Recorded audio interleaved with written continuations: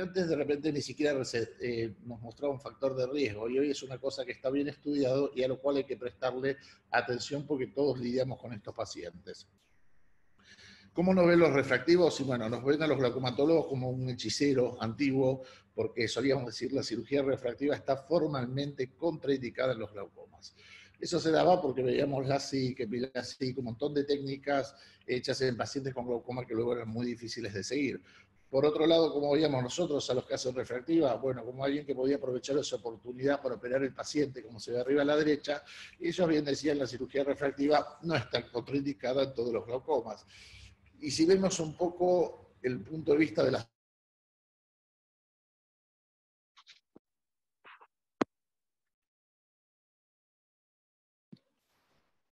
Doctor San Paulesi perdió el audio, me parece.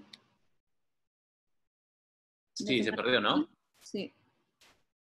Ahora vamos a esperar a que se conecte nuevamente. Juan, ¿por qué no, les, no le eh, solicitas que apague su video para que no se nos cuelgue más? Sí. Sí, yo creo que sí. Vamos a comentarle eso. La voz a Galaxy J7 que está paseándose frente a la cámara en pelota. ah, no, no vi felizmente. Vamos a cerrarle el video. ¿En serio? Ahora sí. ¿Qué está haciendo?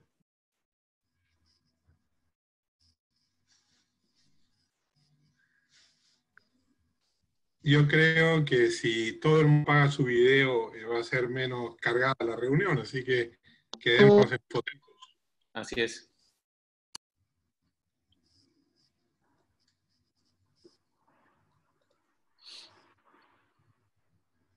Mm.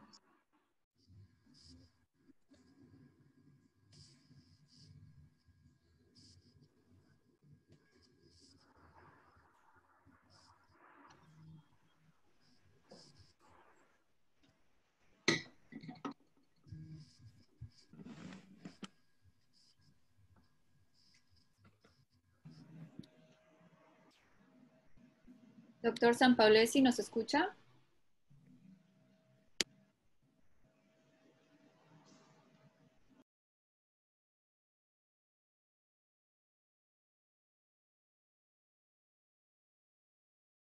A ver, vamos a ver.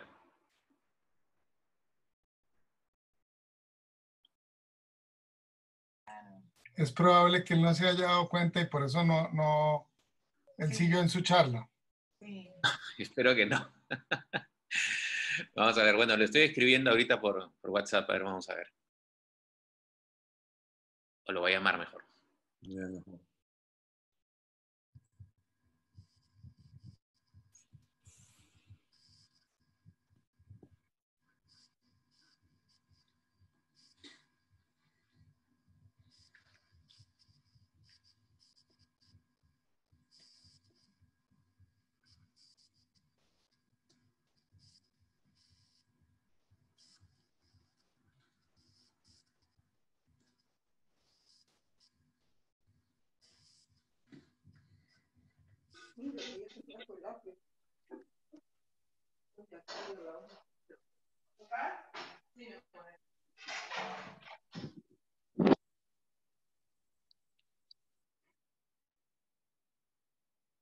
Por la vesícula.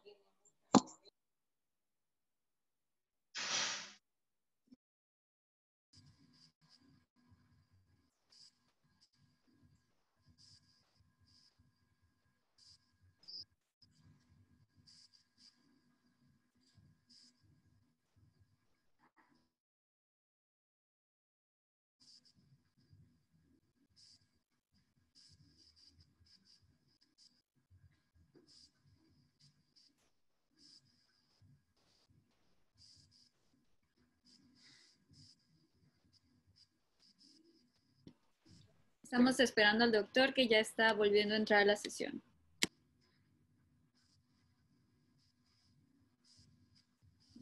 Sí, lo acabo de ver ya en línea, yo creo que ahorita entra nuevamente.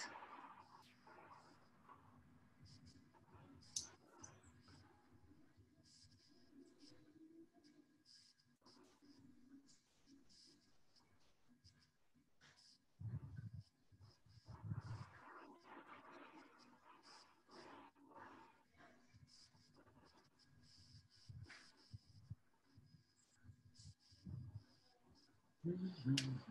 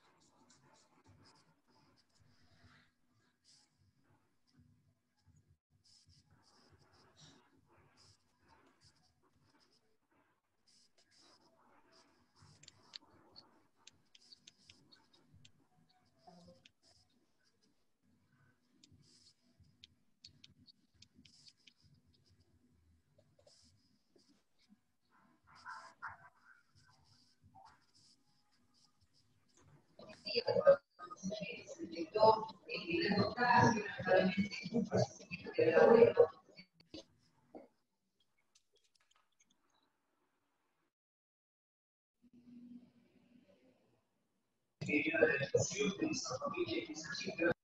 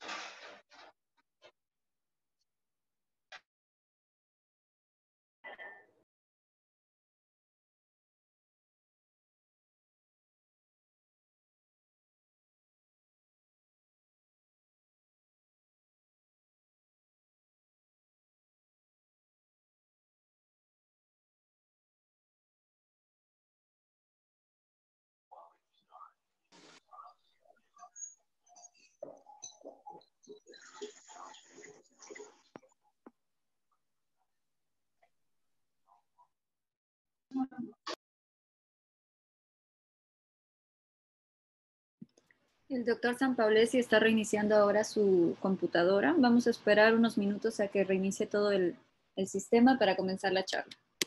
Perfecto.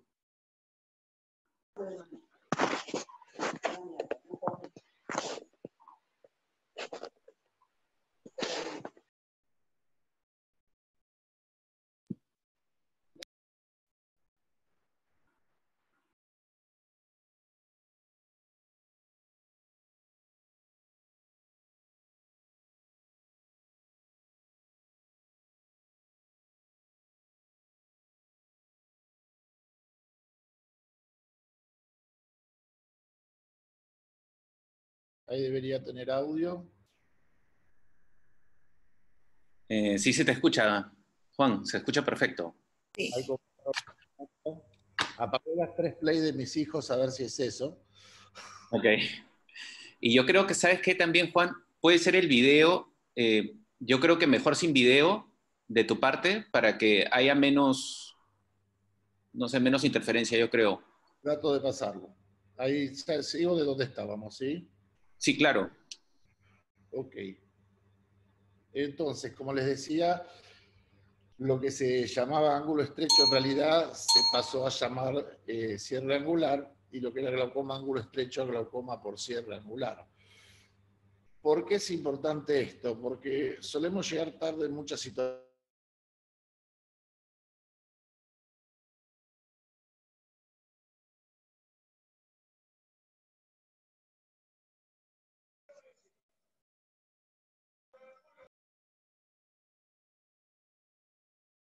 ¿Se escucha el audio? Yo perdí, perdí la señal. También. Sí, no, no se escucha. No hay audio.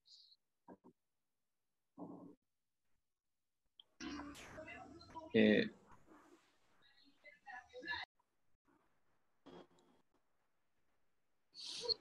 sí, parece que la internet le está fallando un poquito. Eh, vamos a esperar de nuevo que se conecte.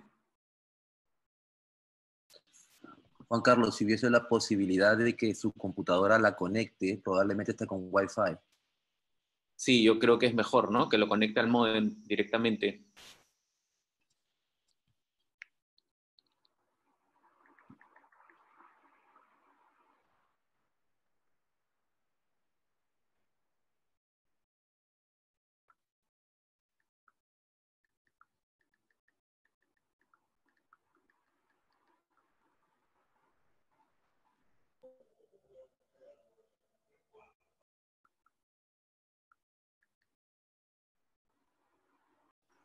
Ahí estamos nuevamente.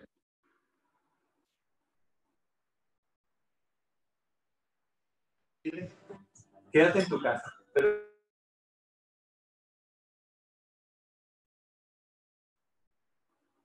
¿Se escucha ahí? Sí, se escucha, Juan. Bien, ahí cambié de red, a ver si con esto andamos mejor, perdón. Les decía entonces que estos pacientes eh, pueden venir con este cuadro tan avanzado eh, sin que se les haya hecho ni siquiera un Mangeric. Entonces la idea es tratar de no llegar tarde. ¿Por qué hacemos hincapié en esta situación? Porque si se fijan, como dijimos el otro día, un 25% de los glaucomas son cierres angulares, pero el 50% de los ciegos a nivel mundial son por glaucoma por cierre angular. Por eso nos muestra que la incidencia es menor, pero que la evolución puede ser eh, mucho más rápida o peor. ¿Frente a qué patologías estamos cuando sucede esto? Todas las que están en la pantalla. Puede ser un bloqueo, un cierre angular funcional orgánico, un glaucoma agudo, un glaucoma crónico ya por cierre angular, un plato, un pseudoplato. Y además de hacer el diagnóstico definitivo, vamos a tener que saber si ese paciente tiene catarato, tiene un cristalino claro, y además ver qué población estamos estudiando, si se trata de pacientes mayores o pacientes menores. ¿Cuáles son los factores de riesgo para el cierre angular? Primero que nada, la hipermetropía esencialmente. Nosotros hacemos que tilden en amarillo cuando es entre dos dioptrías, naranja 4 y rojo oscuro cuando es más de 6 dioptrías. ¿Para qué? Para que nadie vaya a dilatar ese paciente, para que no nos olvidemos de verle el ángulo. A la izquierda arriba tienen todos los otros eh, factores. Fíjense que en general pensamos siempre en una edad avanzada, pero también la menor edad en el plató, el sexo femenino, la ascendencia asiática, la cámara anterior estrecha, la hipermetropía propiamente dicha, el menor diámetro de la córnea, el menor largo axil, el mayor diámetro antero-posterior del cristalino, son todos eh, factores de riesgo. Y además acordarse siempre que existen los ataques subclínicos. Ajá, ¿cuál fue la, la, tribu que tú estudiaste? Cuando vemos La- con ataques clínicos hay que hacer la anamnesis dirigida. Es decir, ver si hay hipermetropía, cefalea, dolor ocular, náuseas, vómitos o visión de halos, ya que existen los ataques subclínicos casi siempre. Fíjense abajo a la derecha, Hubitz actualmente eh, en los autorrefractómetros tiene este OCT ya incorporado abajo a la derecha que les va a mostrar en grados el nivel de cierre angular para que esto no pase desapercibido. El glaucoma agudo es el desenlace final de una condición previa predisponente no diagnosticada. ¿Mm? Su aparición no es el primer signo del cuadro de cierre angular, sino el último, ¿sí? O sea, ese ya viene 10 años después. En general, como dijimos, estos pacientes son evaluados eh, por su alta hipermetropía, porque van por lentes durante años y no se busca esto si no, no se encuentra si no se lo busca. Y el pronóstico de estos ojos es totalmente diferente si la idiotomía, la idioplastia, la FACO, lo que hagan, lo realizan antes o después del glaucoma agudo por cierre angular. ¿Por qué sucede esto y por qué cambia el pronóstico? Este es el trabajo de Shields, donde dice que si estos procedimientos se hacen luego del ataque agudo, en el 72% de los, casos se va a requerir cirugía filtrante en el mediano o largo plazo. Y si lo hacemos antes, estos pacientes de hecho no van a tener glaucoma directamente. ¿Y por qué sucede esto? Lo estudiamos con trabeculectomías, lo publicamos con el doctor Zárate. Fíjense a la izquierda una Schlemm normal, en un glaucoma normal, y fíjense en, a la derecha abajo un Schlemm sacado de una trabeculectomía después de un glaucoma por cierre angular con el colapso casi completo del conducto Schlemm. Por eso es fundamental que estos procedimientos se realicen antes y no después. Acá tenemos dos casos totalmente distintos. Lo que es un cierre angular primario arriba y un plató abajo. Fíjense que arriba el cierre angular primario del Vangelic es bueno, porque como se va cerrando a poquito, nosotros vamos a ver que el Vangelic se positiviza. Sin embargo, en la imagen de abajo van a ver ustedes que como es un ángulo en realidad abierto y de entrada estrecha, en ese caso el Vangelic, y ahí lo pongo a repetir, se va a ver amplio en el centro y puede ser negativo en la periferia. Es decir, que tenemos un falso negativo cuando en realidad tenemos un plato. Hay que acordarse por dos cosas. Entonces, el Vangelic nos va a servir mucho en los cierres primarios, pero nos va a servir menos para detectar los platós, hay que estar más atento. Y además los platós se van a dar en una población más joven, porque ya vienen con ellos. Entonces hay que pensarlo en buscarlo no solo en pacientes mayores, sino en pacientes de menor edad. Antes que el OCT y la VM, que sé que ayer habló Mario de la Torre, eh, lo más indispensable para oftalmólogo general va a ser sin duda tener un, gonioscopio para hacer una gonioscopía dinámica, es decir, para hacer la maniobra de indentación, que se conoce como maniobra de Forbes, pero en realidad fue escrita casi 100 años antes por Alexius Trantas en Grecia. ¿Qué quiere decir? Que si tenemos la situación arriba, cuando hacemos una indentación en el centro de la córnea y ampliamos la periferia, la maniobra de indentación decimos que es positiva si es funcional, o sea, se abre el ángulo. ¿Por qué? Porque muestra en los costados del ángulo que está completamente eh, abierto y es funcional o aposicional y no está pegado.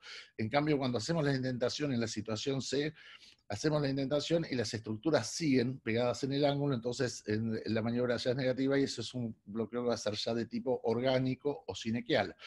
Y esto es lo que nos va a dar la gran diferencia para saber qué conducta tomar. Fíjense, este es el esquema de Wallace Alward. Eh, yo estuve con él en Colombia, invitado por el doctor Parra, donde dimos un curso de gonioscopía, y este es el mejor gráfico que encontré que muestra ¿Por qué nos engaña tanto el platón? Esto está en el último libro de Alward de la agonioscopía de la academia.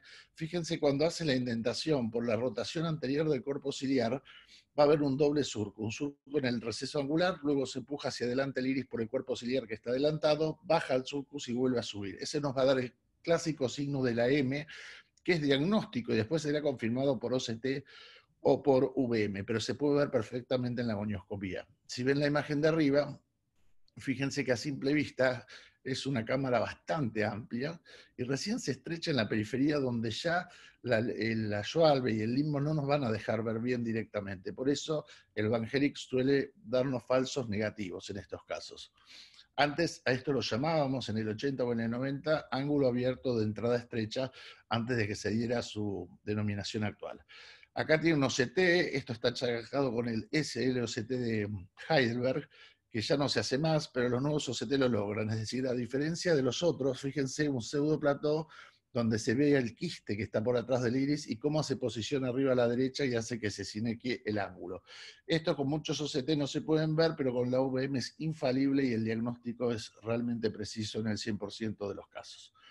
A la izquierda tienen la indentación en un primario, donde van a ver directamente que el ángulo se abre, es positiva, tenemos un bloqueo aposicional, o funcional, y en el centro están viendo la típica M que mostramos recién en el gráfico de Alward, que nos hablan de que también es funcional, pero que en este caso se trataría de un plato o un pseudo plato. Y a la derecha, la tercera imagen, es la maniobra de indentación ya negativa, donde hacemos toda la presión y el ángulo no se abre, quiere decir que llegamos tarde. Si se fijan abajo a la derecha, en, la, en el OCT se ve perfectamente cómo están sinequiadas las estructuras en el ángulo. ¿Se escucha bien hasta ahí, Lucho? Juan, sí se escucha bien. Eh, soy Juan Carlos. Sí, Juan Carlos, perdón. Bueno, ahí estamos viendo cuando se realiza el OCT en la oscuridad. Fíjense cuando iluminamos cómo se abre el ángulo, pero apenas apagamos la luz, ahí está iluminado, apenas se apaga la luz van a ver cómo se cierra el ángulo y se cierra en la periferia completamente. Eso es muy importante porque es lo que hace que nos deje distinguir si vamos a hacer o no el procedimiento o la idiotomía. A la derecha tienen un paciente que un colega que se hiciera la idiotomía y otro que no. Y entonces, si ustedes se fijan, en realidad cuando apagamos la luz y lo hacemos en oscuridad, tenemos bloqueo pupilar y tenemos bloqueo angular. ¿Qué quiere decir eso? Que ese paciente ya está haciendo sus ataques subclínicos y que hay que realizarle el procedimiento. Volvemos entonces hacia el algoritmo que mostramos parcialmente el otro día. Lo más importante otra vez, antes que los estilos VM, la maniobra de indentación. Si esta es positiva, el ángulo se abre, si es negativa, no se abre. Si es positiva, sabemos que este bloqueo es funcional o posicional, quiere decir que llegamos a tiempo y ya discriminamos el tipo de cierre que hay. Ahora vamos a tener que ver frente a qué paciente estamos. Si este paciente tiene o no tiene catarata, pero ya es presbita, ya es un paciente de más de 50 años o cerca de ahí, lo más conveniente en estos pacientes suele ser hacer una cirugía facorefractiva directamente. Después vamos a ver los casos clínicos, que hay tres o cuatro para que lo veamos bien clarito. En cambio, si el mismo bloqueo funcional ocurre en un paciente joven, con medios claros, no presbita, con buena agudeza visual, mejor eh, no corregido. ¿Puedo conectar la mamá? En ese caso, podemos hacer la idiotomía con el láser o la idiotomía más idoplastia en el caso de tener un plató o un pseudoplató. Por el otro lado, si la maniobra fue negativa, es decir, tenemos un bloqueo que es orgánico o es iniquial, no importa, hay muchas clasificaciones de en cuántos grados. En realidad, un cierre de cremallera cuando se empieza a formar se va a terminar de formar. En esos casos tenemos que hacer una disposición. Si el bloqueo orgánico es reciente, o sea, entre tres o seis meses, entonces hay una indicación bien precisa, que es la de la facogoniosinequiolisis, que la vamos a ver en un video. Y si ya tiene más de tres o seis meses o no sabemos cuándo ocurrió, en ese caso va a ir que siempre procedimiento combinado, que va a ser o la facoválvula o la facociclodestrucción. Vamos a ver casos de cada uno para poder aclarar. Acá tenemos los ejemplos. Un cierre angular primario funcional en un paciente joven, no presbita, cristalino claro y una agudeza de 20-20 es un paciente que funciona perfectamente con una iridotomía.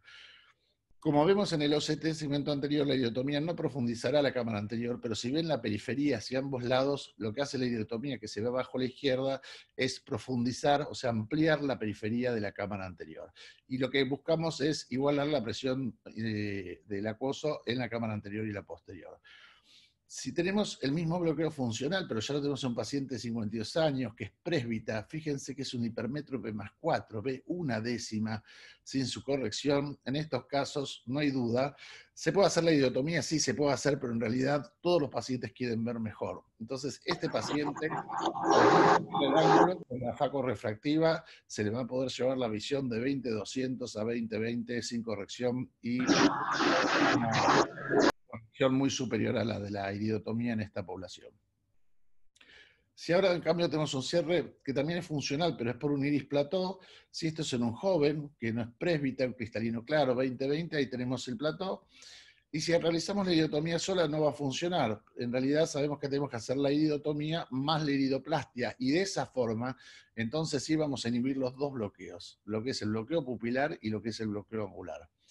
Si tenemos la misma situación exactamente igual, pero un paciente de más de 50 años que es presbítero nuevamente hipermétrope, en ese caso sí hay que pensarlo porque si este es el plató de ese paciente, fíjense que después de la faco refractiva, la forma en la que se abre el ángulo, tanto sea plató o pseudo plató, es realmente muy superior a lo que puede hacer el láser, que básicamente nos va a comprar más tiempo. Acá están los procedimientos, la idiotomía, la idiotomía, la idioplastia y la FACO. Como dijimos, hay que estudiar bien la edad del paciente, ver de qué paciente se trata y según eso poder decidir bien. Ahora vamos a pasar a lo que es un cierre angular orgánico, en este caso reciente, y fíjense si esto se acaba de suceder, la idiotomía y la idioplastia en realidad pueden ampliar un poco, pero ya este es un cierre cremallera que se va a terminar de cerrar. Hay que pensar que en estos pacientes lo que está indicado es la, voy a bajar el volumen, la facogoniosinequiolisis. Si ustedes se fijan, en el reciente comunicado de la Academia Americana está puesto como procedimiento de urgencia que se puede hacer aún en presencia de COVID. ¿Por qué? Porque esto hace que el paciente no tenga que ir a una cirugía combinada de glaucoma y catarata. Es muy sencillo porque una vez terminada la FACO, lo que ustedes van a hacer es básicamente eh, poner viscoelástico pesado, poner miostato, miocol, y van a tirar con una pinza roma del borde del iris para tratar de ir cerrando esa pupila, despegarla, y van a ver que aparecen unos pliegues blancos, que son los pliegues del iris que no estaban pigmentados porque había quedado en semimidriasis. Entonces al abrirlo se logra una pupila chica y se logra despegar el ángulo completamente. Si ven la publicación de abajo, en promedio la presión en estos pacientes con la facogoniosinequilisis se fue más o menos de 30 milímetros de mercurio a 13 milímetros de mercurio. Hay que acordarse que es uno de los procedimientos más recomendados cuando sabemos realmente que ese bloqueo no lleva tanto tiempo o que realmente sepamos cuándo sucedió. Acá tenemos la contraparte de esto, que es un cierre regular orgánico no reciente. Y acá es donde realmente hay que tomar la decisión. Este es un paciente donde, si ustedes entran a hacer una trabeculectomía, va a funcionar mal, la distorsión del ángulo es completa, la vía de drenaje convencional está totalmente obstruida. Esta es una chica de Venezuela de 24 años, tiene antecedentes de cierre angular, la trataron tardíamente con una iridotomía, una iridoplastia en ambos ojos, y fíjense ustedes, ya lo estrecha la cámara en el Evangelic, fíjense el OCT a la derecha que demuestra cómo está sinequeado. Es una hipermétrope de más 6, este es un ojo chico, tiene una presión de 40 milímetros de mercurio con cuatro drogas y dos comprimidos de acetazolamida, ya empieza a tener su daño de papila y todavía tiene un campo visual normal. En este tipo de pacientes hay que explicarle muy bien a ellos y a los familiares que aunque sean jóvenes y todo, vamos a hacer un procedimiento combinado. ¿Por qué? Porque la iridotomía ya se la hicieron y no funcionó, la iridotomía la iridoplastia la tiene hecha y no funcionó. La FACO sola la va a mejorar desde el punto de vista refractivo, pero va a seguir con sus 40 milímetros de mercurio. Entonces, la FACO refractiva tampoco. Lo que va a funcionar acá entonces va a ser o una FACO válvula o una FACO ciclo de. Nosotros, como hablamos el otro día, cambiamos mucho y nos hemos pasado a, en estos ojos tan pequeños de alto riesgo, tratar de no ingresar al globo ocular por la parte del glaucoma. Entonces acá se hizo la FACO, se le puso a esta paciente un lente de 32 dioptrías para que tengan idea en cada ojo. Eh, tuvimos que buscarlos para no tener que hacer un piggyback y tener una buena cámara anterior. Y después que se terminó la FACO se está haciendo la ciclodestrucción. ¿Por qué es importante esto? Como dijimos el otro día, ojos pequeños, grandes problemas, nadie quiere hacer, entrar a hacer una trave acá y hasta una válvula se puede llegar a complicar. Esta paciente eh, maneja entre 10 y 12 milímetros de mercurio, sigue teniendo su campo visual, no tuvimos ninguna de las complicaciones de la cirugía incisional, como las de glaucoma, de las filtrantes, y de una agudeza visual perfecta. Entonces, en estos casos, cuando el bloqueo orgánico ya no es reciente, es cuando nos mandamos más a hacer un procedimiento ciclo destructivo y siempre asociado a la cirugía cristalina. Juan, en este caso, ¿cuántos puntos le hiciste con onda continua?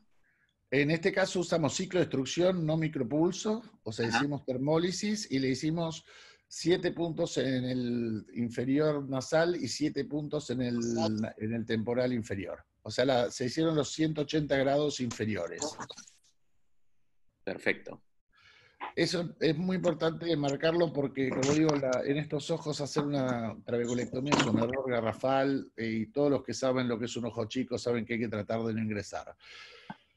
La disquisición tal, vez está en si esto es una, hay que hacer una faco válvula o una faco ciclodestrucción. Y otra cosa que está en discusión, sé que después de la conferencia el otro día hubo mucha discusión en el grupo venezolano por esto, pero lo estamos estudiando a nivel mundial. Y fíjense, la pérdida de células endoteliales con la válvula es cerca del 22% en dos años, mientras que a 24 meses, también dos años, la pérdida es inferior al 5 o 10% y la sobrevida del endotelio es mayor en los pacientes que tienen ciclo de destrucción.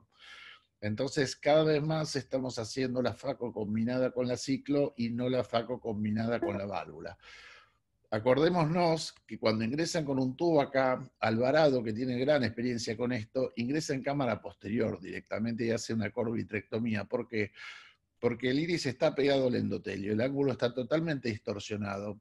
Vamos a poner el tubo, aunque lo hagamos pseudofágico al paciente en forma más anterior, en un tubo corto, lo más lejos de la córnea posible, y sin embargo estos pacientes ya están teniendo episodios de cierre angular, o sea, ya tienen un endotelio que está mal. Entonces no partimos de un endotelio normal, sino muchas veces de un endotelio que ya está afectado. Por eso el cambio radical que estamos haciendo es pasar de la válvula a la termólisis o a la ciclodestrucción. Para terminar, guidelines, ¿qué debemos hacer y qué no debemos hacer? Básicamente lo del mensaje para llevarse a casa es que si el cierre es funcional, es aposicional, es decir, no está pegado, entonces podemos hacer una idiotomía con láser o una idiotomía más iridoplastia si es un plató, eso es por consenso mundial, no hacemos una y esperamos a las otras, sino las dos juntas. Podemos hacer una fago refractiva sola perfectamente bien, es una de las mejores soluciones, y no está indicado hacer una trabeculectomía sola. ¿Por qué? Por el riesgo elevado de tener un glaucoma maligno, y esto está perfectamente descrito desde la descripción de Kearns, que ya en la década del 50 dijo que estaba contraindicada en el cierre angular. Si en cambio el cierre es orgánico, esto está pegado, está sinequiado, en esos casos sí podemos hacer una facogoniosinequiolisis si este paciente tiene menos de tres o seis meses de su ataque Podemos hacer una facofiltrante o una facociclodestrucción. Nosotros hacemos mucho más facociclodestrucción. No hay que hacerle idiotomía ni idioplastia porque no tiene ningún sentido. Nosotros estaríamos ah, comunicando eh, la cámara posterior a la anterior para que el acuoso no vaya a ningún lado. No está formalmente contraindicado hacer la FACO sola. Vemos muchos de estos pacientes que le hicieron la FACO, el paciente ve bien y luego le sube la presión porque porque lo operamos reflectivamente, pero no abrimos el ángulo. Entonces, si es orgánico, hay que saber que esto no va a servir. Así como sirve en el funcional, está contraindicado en el orgánico. Y otra vez, no hacer la filtrante sola en ninguna ocasión, porque estos pacientes también tienen un altísimo riesgo de hacer un glaucoma maligno.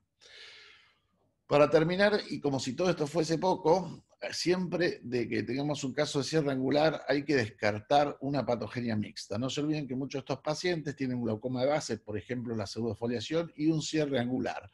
Entonces, después de hacer cualquiera de estos procedimientos, siempre evaluar una curva de presión y ver que realmente no tengan un glaucoma de base, porque los pacientes suelen quejarse diciendo, miren, me hizo el láser y no me bajó la presión. Hay que explicarles bien que el láser o la cirugía es para prevenir un cierre angular, pero si tiene un glaucoma de base, además del cierre angular, en esos casos habrá que hacer algún procedimiento combinado de glaucoma y catarata.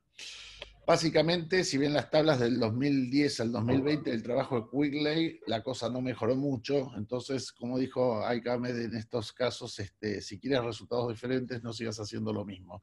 Es una frase de Einstein, pero que marca que hay un cambio de paradigma, que esto nosotros no lo sabíamos hace años y bueno, ahora hay que tratar de, cambiar lo que hacemos y mejorarlo. Para terminar, un aviso parroquial, esto dependiendo si eh, lo quieren poner después en la agenda o no, es una posibilidad de que demos el webinar con el doctor de la Torre de El lado oscuro de glaucoma. Abierto las preguntas para ustedes. Súper, súper, Juan, excelente exposición. Y eh, estoy eh, muy de acuerdo contigo, ¿no? El, protocolo que normalmente usamos eh, nosotros en estos tipos de glaucomas que han mencionado los orgánicos, normalmente hacemos una cirugía combinada, ¿no? Hemos dejado de lado en estos pacientes lo que son las cirugías filtrantes y estamos haciendo FACO más endociclo, ¿no? Que es muy parecido a lo que haces tú, pero por fuera, ¿no es cierto? Endociclo nos metemos por dentro Igual tratamos los procesos ciliares para bajar la presión y en estos casos tenemos este, muy buenos resultados, ¿no? Sí, yo creo que lo de las válvulas, si ustedes ven a nivel mundial, la venta de válvulas desde que apareció la termólisis, el ciclo de destrucción y el micropulso, tiene una curva de bajada que, que es bastante importante. Y recordar siempre que es lógico lo que estamos haciendo, ¿no? O sea, antes no teníamos esta tecnología, pero si uno tiene un trabeculado y un iris que está sinequeado en 270 o en 360 grados y esto no es reciente, entonces uno va a tratar de abrirse paso con un tubo a través de un lugar que no es el normal que tenemos, o va a tratar de hacer una trabeculectomía, y donde levanta esta segunda tapa te vas a encontrar con que esto está pegado con el iris, entonces si se hace la irectomía directamente se pasa a cámara posterior, muchas veces con pérdida vitrea. O sea que en realidad es una cirugía que estuvo mal diagramada o mal indicada y eso trae complicaciones mucho más severas que en una facocicloextinción. Perfecto, Juan. Hay una pregunta que nos dicen, ¿por qué escoges termociclo, o sea, eh, de onda continua, en vez de una subciclo? Eh, depende del daño que tenga el paciente, otra vez. Si esto es un paciente sin daño campo visual y todo, podríamos hacer eso. Pero como dije el otro día en la presentación, nuestros resultados con subciclo a seis meses son cerca del 27 o 26.7% de éxito contra un 87% de la ciclodestrucción un año después. O sea que cuando tenemos una condición severa o un glaucoma refractario como suelen ser estos, fíjense que la chica que les mostré de Venezuela tiene un campo visual normal, pero yo sé que haciendo 180 grados a largo plazo esta mujer no va a volver a levantar la presión, no tengo riesgo de hipotonía o tisis bulbi y me aseguro eh, que realmente mantenga ese campo visual de por vida. Excelente. Juan, ¿cómo estás? Eh, un ratito, permíteme, Juan Carlos, si es posible. Mario. Sí. Mario. Juanito, ¿cómo estás? Un abrazo brillante, como siempre, charla. Una pregunta que me surgió en tu charla previa. Hemos quedado con Juan Carlos de estudiar con VM aquellos pacientes que se hacen procedimiento ciclo destructivo para saber si realmente hay una destrucción, un cambio en la forma, un cambio en la anatomía del ángulo por detrás del iris. Eh, te escuché y me llamó mucho la atención, eh, incitándome a investigar. Eh, ¿Qué pasaría si nosotros logramos disminuir el volumen del cuerpo ciliar efectivamente con aquellos pacientes que tienen plató? En muchos de ellos el cierre del colapso del surco y la presión del cuerpo ciliar en, esta, en este cierre del plató considero que puede ser una causa importante. Y si logramos disminuir el volumen de ese cuerpo ciliar, estamos dando una ayuda. ¿Qué, has visto? ¿Qué, nos puedes contar más de lo que nos contaste la vez pasada? Que los dejaste el dulce en la boca y, y queremos escuchar un poco más qué está pasando con esto. Ok, primero, eh, ya tiene un protocolo, eh, lo está publicado y lo pueden buscar, donde está haciendo esto que tú dices exactamente. Se le ocurrió que disminuyendo el volumen del cuerpo ciliar y trayéndolo a su posición más posterior, eh, él podía mejorar la configuración del plató en una cirugía que es ab externo, sin el riesgo de la, de la cirugía incisional. Obviamente, esto estaría indicado en pacientes que tuvieran, si uno quiere ese resultado, un bloqueo de tipo funcional o oposicional y no orgánico. Si ya es orgánico, va a bajar la presión, pero no va a volver hacia atrás. Y dos, yo creo que tenemos el mismo equipo con el Absolute, con el VM, se logra una definición fuera de serie y realmente por nosotros podemos, hacemos 180 grados inferiores y si tú haces la VM en el cuadrante superior no tratado y en el cuadrante inferior, si quieres tengo unas imágenes para enviártelas, se ve perfectamente la disminución del volumen del cuerpo ciliar en esos pacientes. Pero sería muy interesante hacerlo con pacientes con bloqueos funcionales para ver si realmente uno cambia la configuración, ya que en el orgánico eh, es muy difícil que lo haga, aunque baje la presión. Voy a contar porque se lo he planteado a Juan Carlos, así que pronto tendremos este, novedades en ese tema. Otra pregunta, si me permite, Juan Carlos. Eh, me conversaba ayer con, unos colegas de Colombia, de Caribe, y me decían que ellos tenían mucho, mucho problema de inflamación post-iridoplastía. Ellos tienen una población afrodescendiente bastante grande. Tú estás en el otro lado, estás en el cono sur y tienes otro tipo de población, y acá en el centro de Latinoamérica tengo una mezcla de ambos extremos. Yo no he visto tanta reacción cuanto inflamatoria, he visto, sí, pero me, referían que habían casos hasta de la presión se mantenía muy alta y un cuadro inflamatorio que duró cuatro o cinco días. Eh, cuéntanos un poco tu experiencia. ¿Cómo ves tú la inflamación en la parte, de, tu, de la parte sur del continente, luego de iridoplastia? Sí.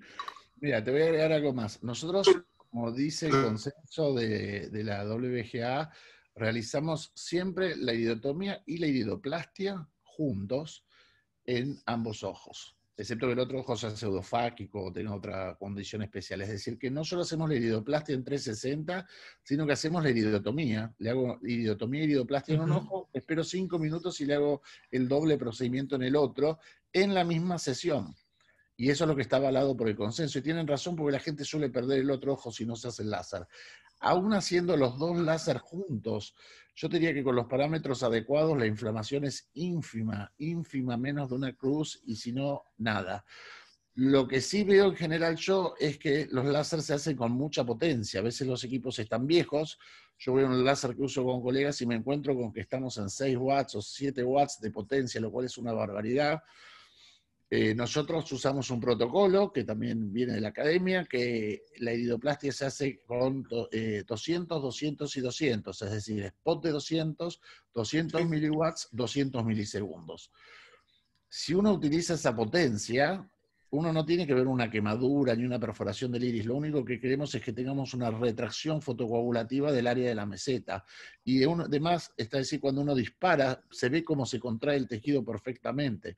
Yo creo que los casos de inflamación es por hacerlo con, eh, con potencias muy superiores. ¿Y qué relación le das con análogo de prostaglandina, que sabemos que están, son, son proclives a, activar la cascada de la inflamación? Te digo porque nos van a llegar pacientes para esto que han tenido tratamiento con análogo de prostaglandina de larga data. ¿Has establecido algún tipo de relación? No, yo que no, cuando los pacientes estos vienen tratados, que es muy común con prostaglandinas, en realidad es porque el oftalmólogo se equivocó. O sea, acá el grave problema es que la gente no hace el Vangelic, no hace la gonioscopía, y si yo estoy tratando a estos pacientes, a mí típicamente me dice, doctor, mire, está con el GAP, está con el Critantec y está en 36 y se desregula fácil. Bueno, porque estás tratando un glaucoma crónico, estás dando medicaciones para un glaucoma ángulo abierto, cuando en realidad lo que tienes es un cierre angular funcional secundario, un plató, un pseudoplató. Entonces estoy tratando A frente a una patología B.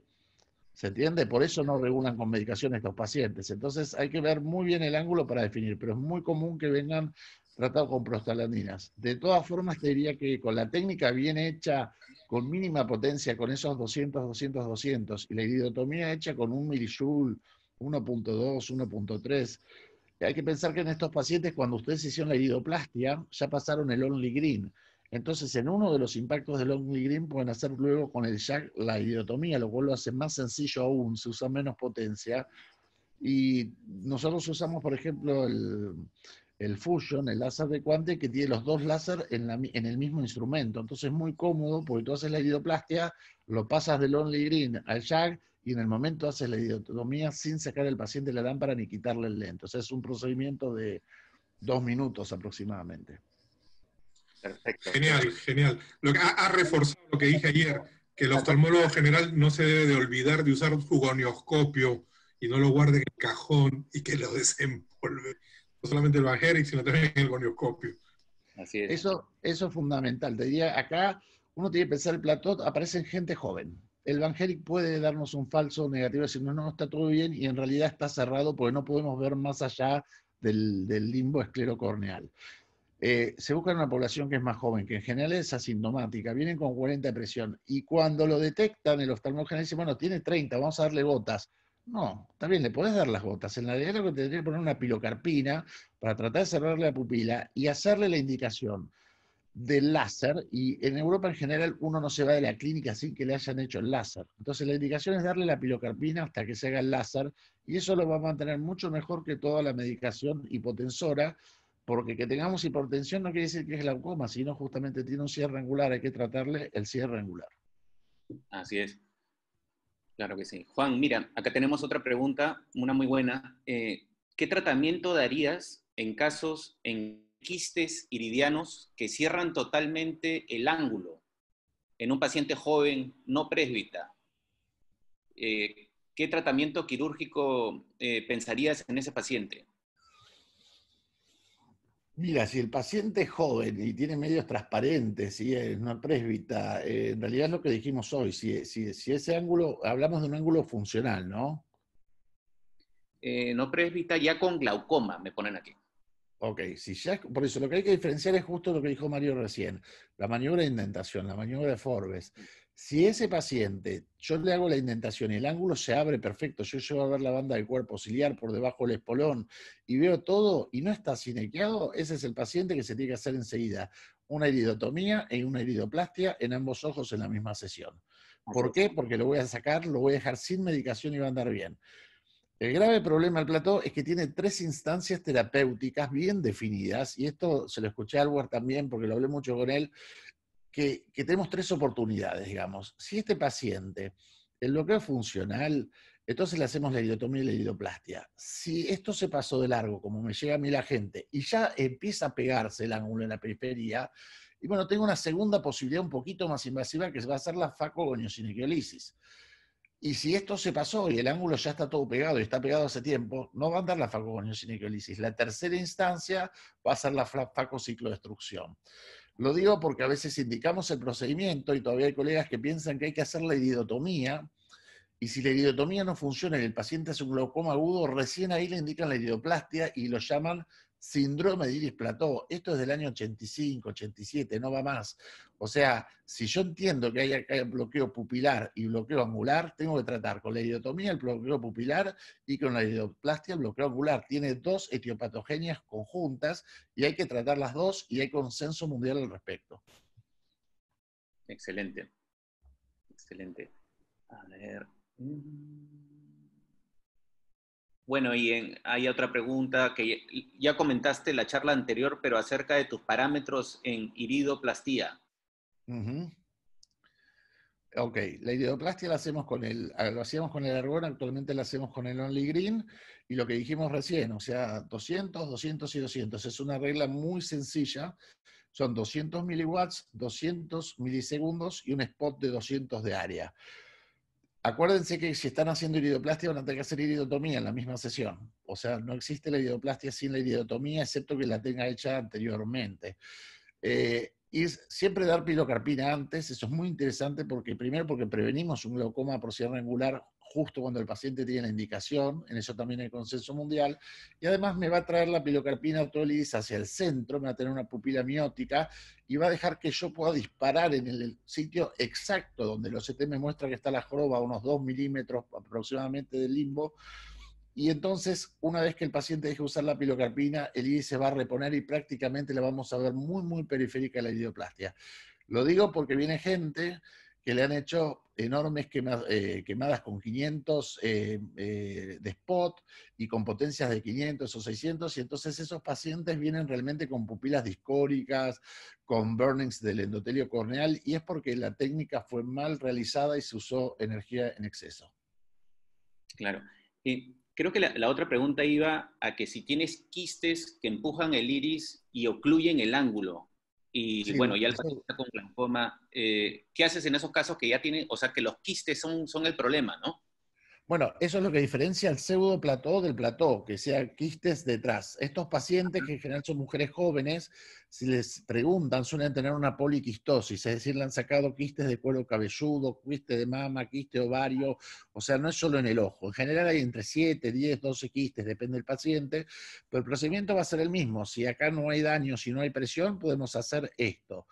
Si ya tienes el, que estos quistes, como mostré en la imagen, se cinequearon, o sea, ya pasó a ser orgánico o en cremallera, en esos casos, si es reciente, la facogoniosinequiolisis y ya es más avanzado y tu ángulo está cerrado, yo creo que el mejor procedimiento, eh, generalmente asociado a la faco, va a ser la ciclodestrucción. Excelente. Hay un estudio que se, o sea, que se parece mucho a lo que comentaste en tus primeros slides, que es el, el Liguan Eye Study, que tiene un, un seguimiento de 10 años de estos pacientes eh, con ángulo cerrado, glaucoma primario de ángulo cerrado, y se observó que el 25% de todos ellos... Sí.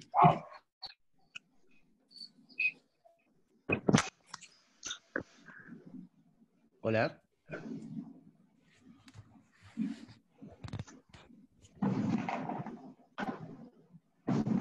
Juan Carlos? ¿Aló? No se escucha su... Sí, se fue la señal. Se fue la señal. Sí, me parece. ¿Me, escuchas, Juan? No tengo audio. Sí, perfecto. Ah, es que me pareció interesante porque lo que decías en tus primeros slides se pareció mucho, ¿no? El 25%, el 25 del seguimiento de todos estos pacientes a los 10 años eh, formaron algún tipo de ángulo cerrado. Eh, que me pareció muy bueno. Sí, sí, sí, es, lo que está confirmado y hay un consenso a nivel global de que si uno hace los procedimientos antes de que tengas el glaucoma agudo, realmente uno le cambia el pronóstico al paciente. Nosotros lo pensamos y sacamos las piezas de trabeculectomía y lo publicamos en el libro porque ya Chris Johnson en el 85 había dado la teoría del golpe de gracia, que quiere decir que no sé si lo saben, pero los aviadores, cuando entra una ave en la turbina del avión, lo primero que hace es dar la vuelta y volver a aterrizar. No importa si la turbina falla o no. ¿Qué quiere decir eso? Que tarde o temprano te va a fallar y vas a tener un problema. Por eso se vuelve a aterrizar. Acá pasa lo mismo. Acá una vez que tuviste el cierre angular, ese trabeculado tuvo el ISA posicionado encima, con una descarga enorme de pigmentos, macrófagos, un lío de inflamación a 60 milímetros de mercurio durante horas.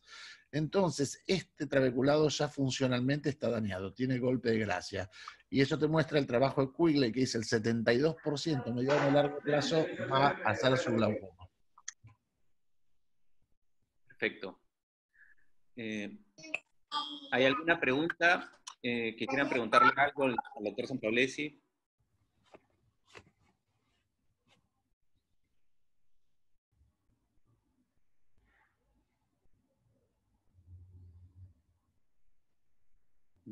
Parece que todo ha quedado muy claro, Juan. Esperemos que sea eso.